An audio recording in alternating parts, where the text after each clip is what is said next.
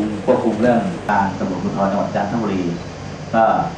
เราก็เป็นพี่น้องกันก่อนอื่นที่จะอ่าตำรวจภูธรจังหวัดจันทบุรีเนี่ยจะมีเขตรับผิดชอบ10อำเภอต่อกับทะเลฝั่งทะเลจากจังหวัดระยองจนกระทั่งถึงเขตจังหวัดตราดเนี่ยนะฮะอันนี้เป็นตลาดเอกชนของดรในเขตรับผิดชอบของสถานีตำรวจภูธรโป่งน้ำร้อนทางด้านของชายสลัมสลัมเย็นๆโอเคได้ครับผมขาย ต่อหนูหนูซื้อเท่าไหร่นานมาวันละเท่าไหร่ต่อวันนะครับล้านบาทเปิดเปิดเครื่องเสียง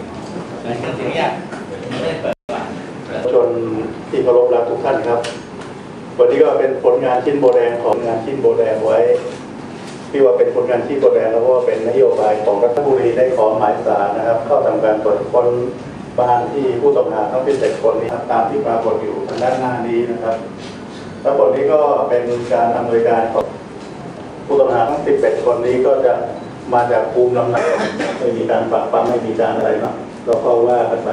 มีพยานหลักฐานไปแล้วนี่ก็อย่าย้อนกลับมาดำเนิน